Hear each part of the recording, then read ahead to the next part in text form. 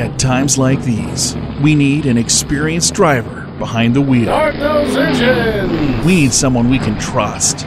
That's why we need conservative businessman Bob Steinburg for North Carolina House. For years, liberals in Raleigh raised taxes, overspent, and wrecked our economy. Now we have the fifth worst unemployment in the country, and too many families are hurting. We need another way. Bob Steinburg's plan to jumpstart our economy is exactly what we need. A lifelong businessman, Bob knows cutting taxes and red tape will empower small businesses to hire again. That's why he's supported by the National Federation of Independent Businesses and the NRA. They know only Bob shares our values on issues that matter, like voter ID. This year, vote for someone we can trust to get the job done. Vote Bob Steinburg for North Carolina House. This ad is paid for by Bob Steinburg for NC House Committee, Craig Miller, Treasurer.